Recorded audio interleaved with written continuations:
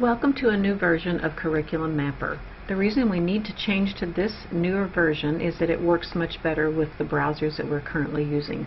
Some of the issues that you have had in uploading documents to the document library will be solved if you switch to this new version. So I'm going to show you how to do that. Uh, when you are signed into Mapper, you'll come to the home page and you'll then go to My Account and Edit Preferences we have some different choices now than we had before. We have been using the enhanced edit, but if you'll select Curriculum Mapper 2010 and click the update, then you will update to the new version. Now this is what it will look like when you come into the new version, quite different than the old version. So when you first log in and see the home page, you'll notice the navigation bar is no longer along the left side, but it's across the top. A few things have changed here as well. If I go into Maps and My Maps, this looks fairly similar to what we've had before. So you can choose a month that you are going to edit.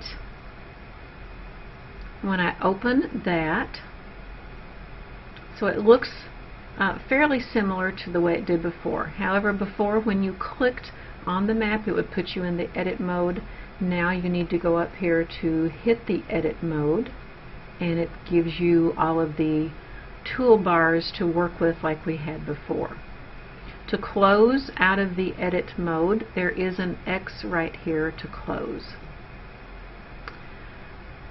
One of the new things that you can do with this version is to add a new block. Now what this does, let me scoot that over just a little bit, Adding a new block gives you another section within the same month. So in this case I'm still in May 2012 but if I wanted to add another section, let's say you want to do each unit separately, you can do them uh, separately this way by adding the new block.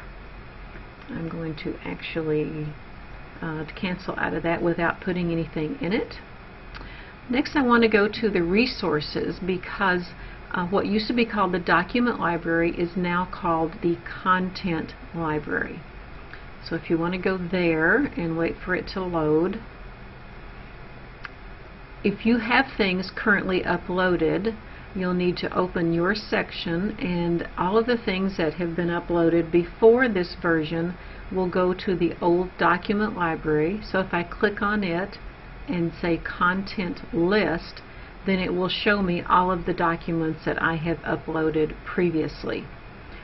If I want to upload content, I pretty much do the same thing. I can upload content here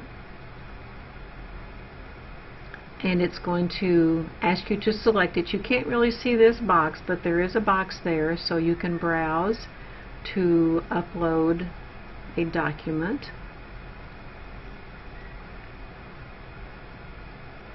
And then I'll just click Save Content over here and that will upload it.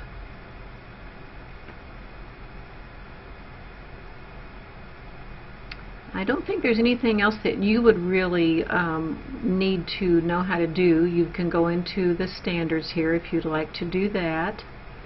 Um, but everything else is going to be pretty much the same. It's just a new look, and I have to say that I really have enjoyed this new look. So contact me with any questions you have about using the new version of Curriculum Mapper. Remember, this is your choice. You do not have to change to the new version, but that option is there for you.